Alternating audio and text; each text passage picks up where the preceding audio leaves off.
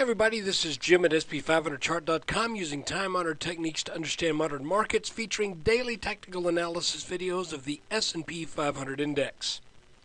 Before we get going on this, I just need to remind you that uh, the website and this video, anything you hear me say or write is for educational purposes only. Nothing stated at the site or in this video is intended to be used as investment advice. I control lines on charts but you have to draw your own conclusions from your own research and make investment decisions that are suitable for your personal financial situation.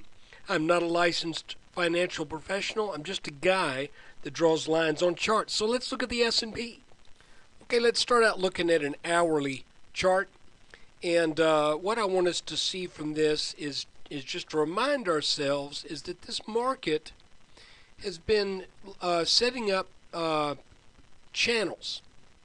And we had a channel back in uh, the middle of December that was down. Then we had an upwards channel, albeit a little bit of a stretch because of these huge gaps um, that we had on, on some days. Then we had a fairly clearly defined downward channel, and now we've come out of that with a large gap up and then we jumped into this channel running up. Now, the, the confusing thing is last Friday, um, we broke down from this channel right here, and then we came back into it uh, on the, the first trading day of this week. Okay, and let me adjust the chart there just a little bit. There we go. And uh, and then today we regained that channel again. So it's it's a little a little funky what's going on here, but um, I think what we're seeing is there is some underlying strength as a result of what I believe is an inverse head and shoulders pattern right here. And um, remember, there are three parts to a head and shoulders pattern. There's the left shoulder, and sometimes they can be a little bit more complex, not just a dip and then a rally. Sometimes it can be a dip and a, a little uh, double uh, shoulder. Then we have the head, which took us down to uh, the 11, oh, about 1159. Then we've got the right shoulder, and uh, looks kind of like Dumbo right there. There's the uh, there's the trunk, and there's the ears. But anyway, make a long story short, uh, here's a breakout. We had a pullback uh, to this uh, neckline that's about 1268, and since then the market's been going up, and that's what's supposed to happen when you see one of these patterns. Now, what makes this really interesting is the fact that in addition to all of this, uh, what I think is a fairly bullish uh, pattern underneath us, we're also going to be coming upon uh, some uh, what should be uh, some pretty strong resistance. So we'll, we're, we're going to get to find out if the market has what it takes to get through uh, some of these areas of resistance. And briefly, if we back out on the chart, um, the first uh, level we've got is we've got this rising line that has held the channel in check. Um, since that um, um low, oh, didn't need to do that. Since this low back uh, on uh, December 20th, uh, this line extended from these two tops. We've not reached that line yet uh, in this small channel. Additionally, um, there is another line, this red line right here. Let me show you what that is. We have to go to a two hour chart to see that. This red line is a technically important line. Though it has been violated, this line uh, had very clear technical significance throughout the early days and for about three months. Um, after the big um, meltdown from the head and shoulders top. So you can see that uh, the the the uh, S&P would get would stay over that line, then it would break it, come up over it, and it, and then uh, it formed something of a head and shoulders top right here. And ever since this little pattern in this area broke down, uh, the market has not been able to get back over this line. So I would expect that line to also offer um, some resistance. And then finally, we've got this line. I tell you what, just for the sake of clarity, let's change this uh, to a different color. I'm going to go to a real, I'm going to go to a dark blue line. And let's uh, take a quick look at, uh, at what this one comes from.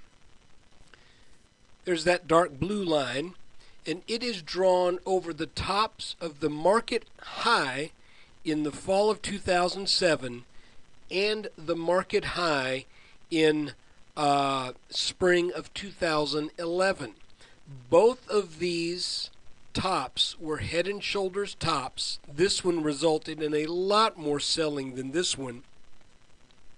But I think it's interesting um, that we have a uh, a fair a, a definite major top back in 2007, and then a top that I would describe is as at least of very important intermediate term significance.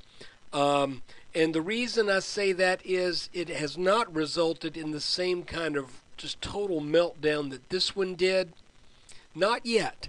It could, but we're keeping an eye on it, and this line is one of those things that's going to help us keep an eye on it.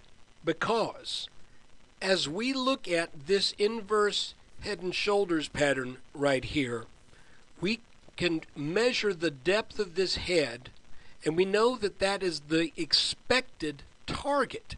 Once it breaks out over that neckline, which it did, the expected target now is about 1380.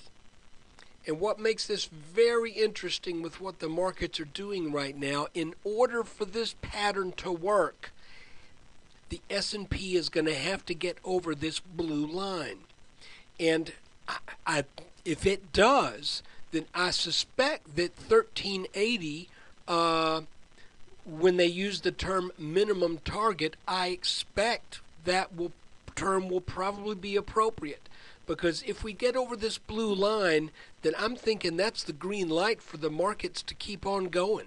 How far? Well, we got to watch it and see. But but right now, I would think this line, if taken out, and again, that's going to be uh, roughly in the, uh, well, hold on. That's going to be roughly in the uh, mid 1330s. So, this is what makes this very interesting the fact that we did get um, some weakness that broke this rising channel uh, earlier in the week. And please stop doing that to me. Browser.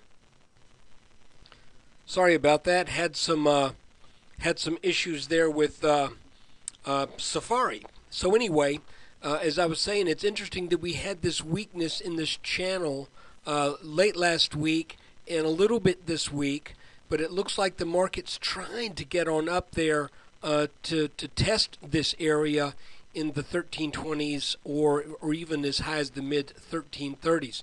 One thing I want to show you real quick is we look at the way things traded today. Um, this is kind of preliminary. It may or may not be a real issue, but I want to show you that all day long, once we gapped up, the market started to trade up in what appears to be a possible, what some people call a typhoon flag. And that is a pattern where there's a, uh, a, a decent move up, and then the market rallies, but it does so in an ever constricting pattern. These 10 to uh, to uh, set up a downward uh, a down day. They they have a tendency to to set up a fall out of this pattern that um, that at times can be uh, fairly swift. So be on the be on the watch out for that. So what are we looking for today? Well, now that we're back above this 1296 line, uh, I'm looking for this maybe.